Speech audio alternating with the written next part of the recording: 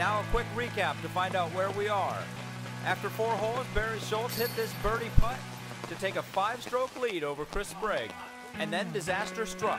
On hole five, his drive is short and out of bounds. On hole six, his drive kicks right, out of bounds. And Chris Sprague capitalizes, carding birdies on hole five and hole six,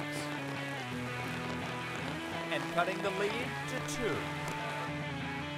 On hole seven, Barry Schultz would hit a big par putt to maintain his two-stroke lead. And then, on hole 8, Chris Sprague hits a 40-footer for birdie to close the gap to one.